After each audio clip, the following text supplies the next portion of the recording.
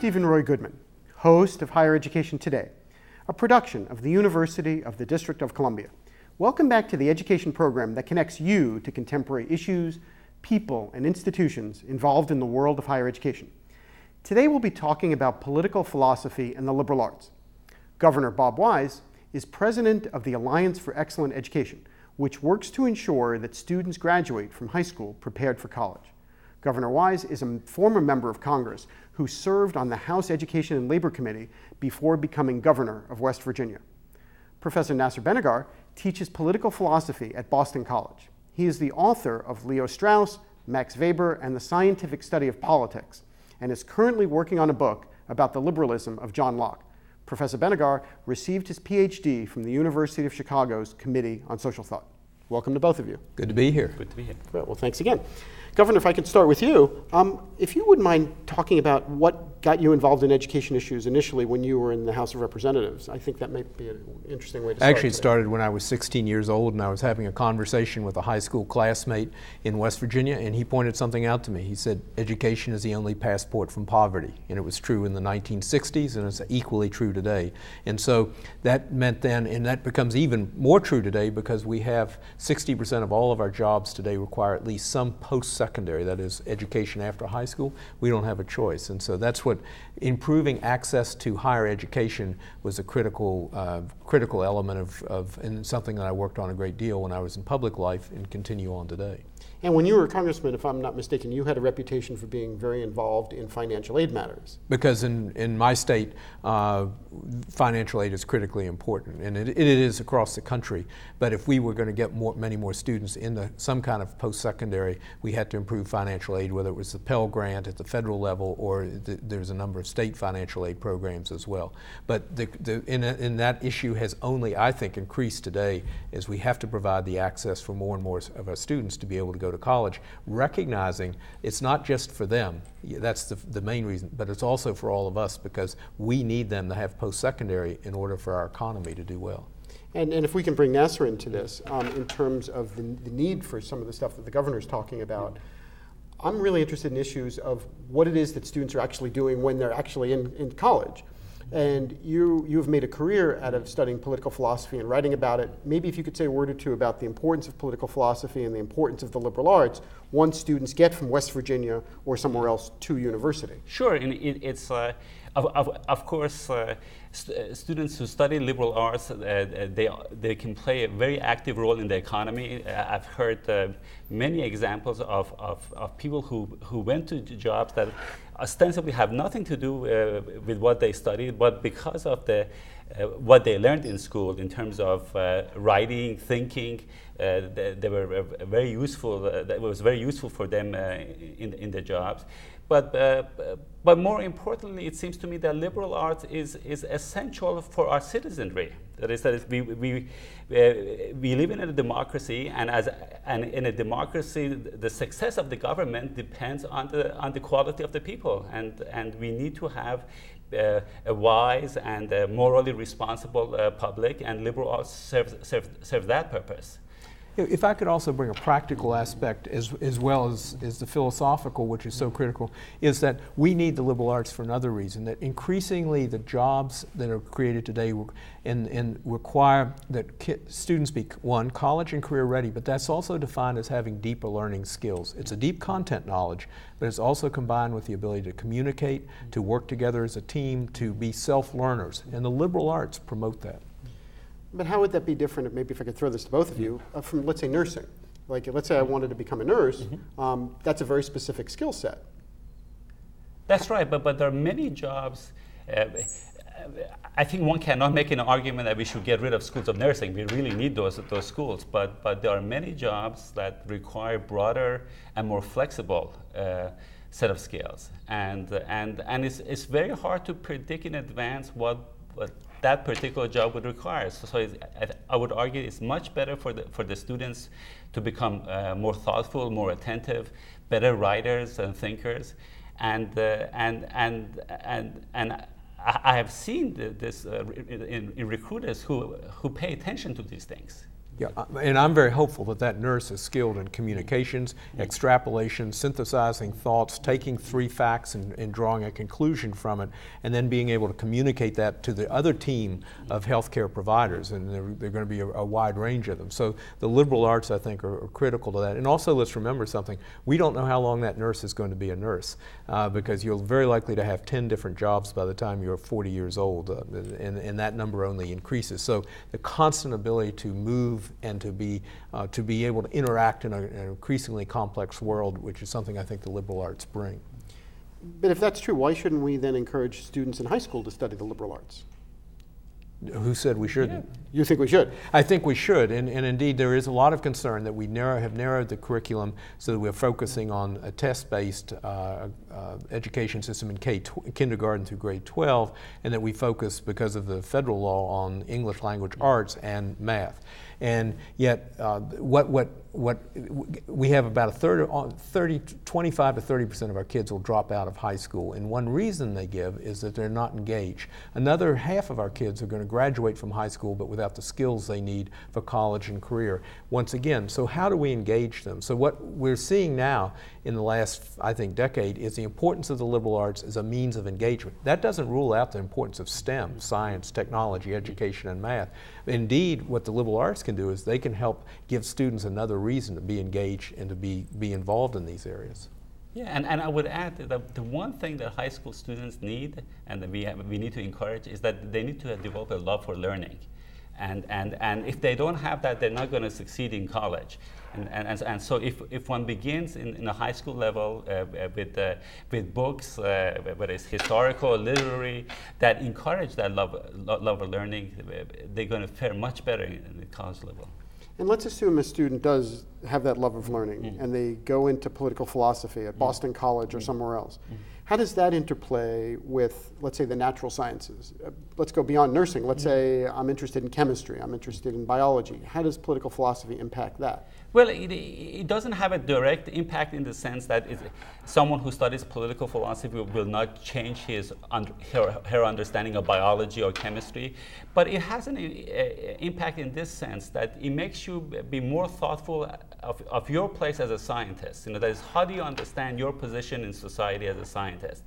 And reading uh, about Socrates' life, for instance, has, a, has an impact on this. Is it, is it, is it primarily, uh, are you primarily studying biology in order to find a cure for cancer? Are you, or, or is there also something that is connected with the, uh, the human desire to know oneself? You know, it's, uh, I think it could deepen a natural scientist's understanding of uh, his or her vocation, but it, it, it, won't have an effect in the, in the actual results. I think that that has to be, uh, that's the consequence of the field itself.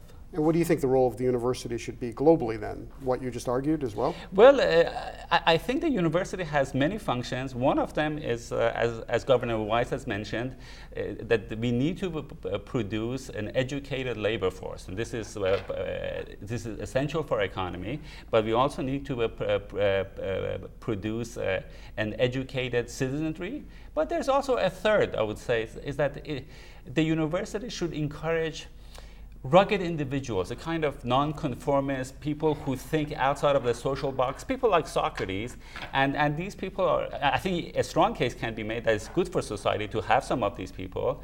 But there's also a strong case that could be made that, uh, that there is more to life than work, uh, than even citizenship, that uh, human life invo- involves uh, facing the world in its truth. And, and uh, so, so I, would, I would think of those three, three main things as the, as the goal of university. And let's assume that, that the professor is correct, Governor. How would we ensure that more schools on the secondary level or the high, or the university level enable people to do what we're talking about? Well, I think it's important that they understand, first of all, this, the why it's that this is so critical, and then in terms of encouragement, I think that we actually uh, put, let me put my government or political hat on for a second is we actually have that opportunity with the uh, Congress this year taking up again the Elementary and Secondary Education Act, which is the main legislation, federal legislation affecting K 12. Uh, it'll, it'll also take up uh, shortly the Higher Education Act, which will affect this institution uh, greatly. That'll probably be in a year or two. And then every state right now is confronted, as it confronts its budget shortfalls, but also its demand for greater student outcomes. What is it that ought to be in the schools? And so I think this, I, the notion that we need a well rounded education and liberal arts have to be a part of it, and that what, what we're looking for is uh, not just limited assessments and testing in certain uh, core subjects, but we're looking at a much broader application of education, is where we need to be moving. But let's assume we, we agree on that. Um, but let's say the American public says we're out of money. You know, we're spending X amount of dollars on healthcare, X amount of dollars on the military, X amount of dollars on this initiative, and we simply don't have enough money to go around. And isn't it reasonable that the public would say, well, what, is, what are we getting from X number of dollars that we're spending on the schools? What I, would, what I would argue we're doing is we're at the General Motors moment in education, uh, where GM about three years ago realized that it needed to have much greater results, greater product, but yet at the same time had less money. So we're going to have to sp- look at revamping uh, how it is that we deliver education, but in so doing, what is it that we what is it we need to be adding and what is it we need to be subtracting? How is it that we can actually deliver liberal arts or STEM education or others in different ways? Digital learning, I happen to believe, um, combining a good teacher in the classroom, but with content, and it can be liberal arts content coming in from anywhere in the world, can open up uh, minds in ways that we never imagined before. So I think there are lots of exciting ways to do it. If I would, I would say to the public, I agree with you in the sense of I don't want to spend one additional dollar to make a dysfunctional system more expensive. I do believe we, there's a strategic investment. And incidentally, on that, my organization has done a lot of work that shows the return on investment from improving education, which is a much greater return than you're going to get on a 401k or any other investment, uh, that, that it really does pay the taxpayer as well as the student in order to get this broader, better education. But who's paying for this now? I mean, if, uh, not to pick on Boston College, but Boston College's tuition is high, yes. as are, you know, the Yeah, tuition is high yeah. at a lot of Yeah. institutions. Um, how, what pressures are there to kind of contain some of that while producing the great thinkers that I, I think you're correctly pointing out that we need? Well, I- I think uh, I don't know whether I, I have a solution to this big question, but uh, but w- one thing would be good is, is that if the universities pay less attention to the to the frills. Uh, to the nice do- uh, dormitories and, uh, and, and more attention on the substance of the education. I think that's uh, that's one one thing that could, that could be done. But but but, it's a very complicated problem, and I, I just don't have an access to the full dimension of it. it it's, But you- you said something that was kind of interesting Yeah. there a moment ago that, that you want universities to focus more on the substance. And I think that that's a fair comment because, you know, I- as you know, when I'm not hosting the show, I'm Yeah. traveling and visiting a number of universities. Right. And each university is nicer than the next. I mean, they've got beautiful facilities, the food is terrific, everything is great at a lot of these schools, but somebody's paying for all of those things. And are you saying that, um, that maybe we're spending a little too much time worrying about the quality of the athletic facilities and not enough in terms of the learning facilities? I, I would say so. In, in, in, it's, you know, I don't have a, a firm grasp of the situation, but, but, but I think that there is more attention generally paid, uh, I, I'm speaking very generally, to the, to the appearance of the universities and less to just the substance of what a university delivers, which is that a substance should be something like this. W- what are we delivering to the young people who are coming to the schools? Uh, uh, just imagining that there, would be uh, one's niece, one's daughter. Are we providing them with the education that we want for our own children? If, if, we, if that was the main object, I, I, I suspect um, it will help with the reduction of the, of the cost. But, but, but I'm not sure. You know, it's, it's, uh, Do you have a thought on that, Governor? Except only that you asked, you opened by asking who's paying for it. Mm-hmm. And let me turn it around and say if we don't get a lot more of our students into some kind of post secondary experience, we're all going to be paying for it. Because we have a job market today that is constantly requiring a higher and higher skill level, and that no longer can we be. And the current rate pipeline, if you would, of children, of young people going into post secondary or even older students returning is not satisfactory to, maintain, to meet that skill level. And so, if we're going to truly be a successful economy, we have to move a lot more of our students, young people and older people, into what I call one step up, move, constantly moving up the rung, the educational ladder rung. So who's going to pay for it uh, is important. Who's, but we're all going to pay if we don't figure a way to greatly increase the access to higher education. Well, I think that's fair. Um, but I guess what I'm, uh, but let's say I'm, I'm a mom or a dad, and I'm thinking about sending my student off to university, I'm going to look at this in the cost benefit analysis, as if I'm a student looking at this. You know, what am I going to get from this degree? And what both of you are positing, and you know, and I, I'm sympathetic to the arguments, but you're positing something that is very risky for a lot of kids. So I'm going to take out a lot of loans. Mm-hmm. My family's going to go into debt, and you're both arguing, if I hear you correctly, that you should take a chance on going into the liberal arts because it's important not only for you but also for, for society but I'm taking out a lot of debt that I'm going to have to pay back in four years. So how can you maybe tie this into, into how this is going to help somebody's individual career in a very specific way? And maybe Nasser, if I can put that to you, you probably have had a lot of students who have studied political philosophy, mm-hmm. gone off to law school, gone off to jobs in Washington or New York, how have they fared? That's right. Of, of course, we've had bo- both graduate students and undergraduates, and, and uh, uh, the trajectory of graduate students is very different. They often go to, to universities or, or think tanks and foundations, and, but, but as to, but I think what you're mostly interested in is undergraduates, and, uh, and, and they've done very well in working as consultants. You know, for instance, a job like a consultant re- requires someone who could look at a subject and quickly try to figure out uh, how to improve it. And uh, uh, the task of dealing with very difficult books, uh, trying to understand arguments of, of, of uh, highly intelligent authors, is, is, a, is a terrific preparation for that.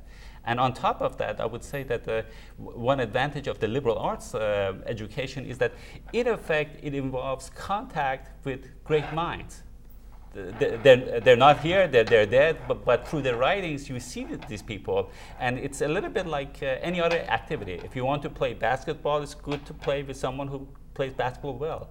And, and, and if you want to be a, a, a wise and a moderate person, it's good to spend your time with people who are wise and moderate. So, so, so, it's, uh, so, so in the four years in, in college, uh, that, that, that, that's the time of investment in yourself. And, it's, I'm, and I'm very sympathetic with the concerns of the students about, about uh, what they will do after, in, uh, after college. I don't want to downplay that, but, but I think it would be short sighted to put that above the investment in their own mind and their own hearts liberal arts. Yeah, in liberal, and I don't see liberal arts being to the exclusion. My hope is that as they're taking a liberal arts program, they're also it's a broad interdisciplinary mm-hmm. program, including the sciences and math and so on. And then they, and then, but this now permits a much greater ability to choose. And I just like to, I know how bad that's strong, how how, how tough that student loan can be, but if you, if you borrow on a car, from the day you drive that car off the lot, it begins to depreciate and you begin to lose. The thing about the education is you always have that education. And you can only, and it only, you only build on it. So whereas the car value immediately starts to decline, the, your value with the education immediately begins to, to appreciate, and that continues. Fair enough. And in terms of in terms of taking the liberal arts in the workplace, um, let's let's if you don't mind putting your hat back on as, as, as a governor and before that congressman, if somebody came to you and said, I've got a liberal arts training from uh, Boston College or somewhere else, but you might have a specific job opening in your office for a very specific skill set, how did you value that in the interviewing process when those students or, or reasonably young people are coming to interview to work in your office? Well, first of all, this is an information based economy. So even if you're working in a, in a scientific or skill based, specific skill based, it, you have to be able to take a lot of information from many different sources and make it work.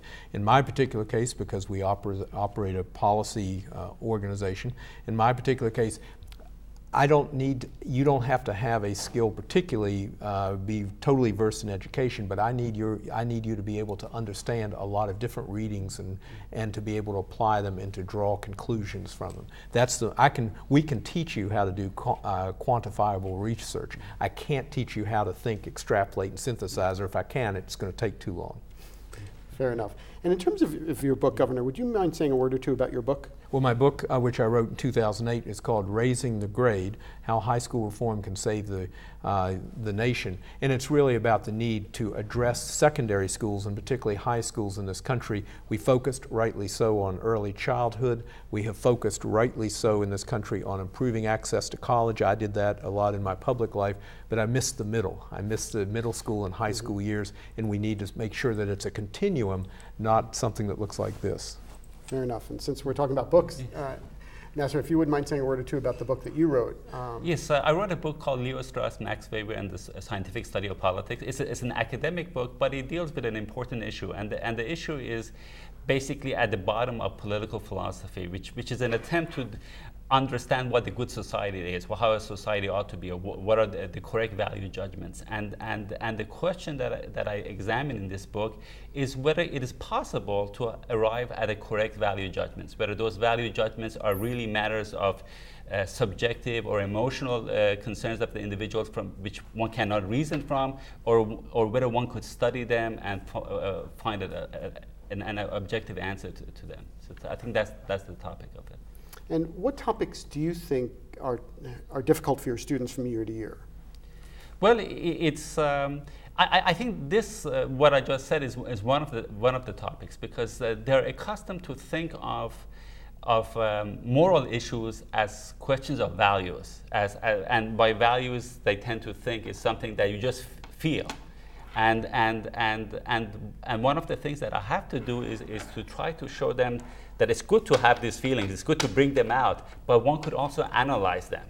And, and, and, and the, the, it's, uh, that, the, the, that their own feelings are uh, um, contain sort of certain inconsistencies so to, that it's good for them to put it on the table. And, and through this analysis they actually will end up changing their opinions. It's a, it's a, my job is not to, to uh, change their opinion to a particular direction but, but rather to make them reflective about those opinions and in terms of those opinions, how heated are some of the discussions in your class? Well, um, it, it, could be, because sometimes a good teacher would have to um, hit, a, hit a nerve. You know, it's uh, and uh, but generally my, my, my classes are friendly. so you heard it here. Take Professor Behnegar's classes at Boston College because he's friendly. Um, Governor, if you could say a word or two about um, some of the initiatives that you're currently working on at the Alliance, um, I think that would be helpful. Well, the Alliance, one thing we're trying to do is to get a lot more students ready for the professors' classes mm-hmm. uh, because we want to graduate uh, students college and career ready. So we focus on what needs to be done to, first of all, greatly lower the dropout rate increase high school graduation? And then second, what is the needs to be done to make sure when that student gets a high school diploma, they're truly college and career ready for today's society? And so, and then a third area we're working on a lot is how do we get much better content to students? And that's where we get into this new world of digital learning. This is an incredibly complex and technical world. What the professor's talking about is so critical because we need to be able to think our way through a lot of these issues and to be able to apply that technology, to apply that uh, new knowledge that we're, we're getting all the time. But we we need to have some core values, and that to me is what the liberal arts are about. And does it concern you that other countries are moving at a slightly faster pace? It concerns me greatly. We're not educating worse than we were before. It's just a lot more nations are educating better. I'm, global competition is important. Even more important is global participation. And we need all of our students able to compete at, or to participate at the same level, at least, as the rest of the world. So this is a, a major area of concern. And Nasser, do you find that some of your international students are better prepared, not as prepared than, than the American students? Well, it's difficult for me to gauge this because uh, there's the, the problem of language. You know, it's uh, especially with the kind of books that I teach. Uh, knowledge of English is very important. It, it's uh, uh, probably, I think, from the, from the point of view of sciences, my guess is that uh, the international students are better. But, but, but, but, but I don't know this from immediate experience. And so, what advice would you have for students who are uh, and families who are watching this, who are thinking about the liberal arts, thinking about Boston College, mm. thinking about political philosophy generally? Well, I, I would say that uh, to, to begin with, even before going to school, I encourage people to read uh, books uh, slowly. you know, it, it's uh, uh, don't read much, but read few good things. Um, uh, Shakespeare and the Bible uh, is, uh, if, if, if you read them, you will know more about the world than just by traveling around the world. It's uh, and, and and as to adult students, I want to uh, the, the, older students. I want to encourage them to realize that they have an advantage over the younger students because they have experiences, and the, and these books speak to their experiences. So so they should not feel intimidated about going back to college. It's uh, and and make use of this advantage. It's quite a significant statement, actually, in this day of uh, uh, uh, iPhones, smartphones, uh, technology, satellites, uh, uh, GPS. Um, yet the Bible and Shakespeare still helps ground us for whatever happens. And so there's some things that are timeless, and how we think and how we interact with one another is one of them, and that's what I believe the liberal arts are about. Well, I think that that's a great defense of the liberal arts from both of you. So thank you both very much for coming in today and defending the liberal, liberal arts at the University of the District of Columbia. If you would like additional information about the Alliance for Excellent Education or the Boston College Political Science Department, please visit all4ed.org or bc.edu. Thank you for watching. We will continue to bring you quality discussions about important matters in today's college and university world. Please join me again for another edition of Higher Education Today. I'm Steven Roy Goodman, and you've been watching Higher Education Today.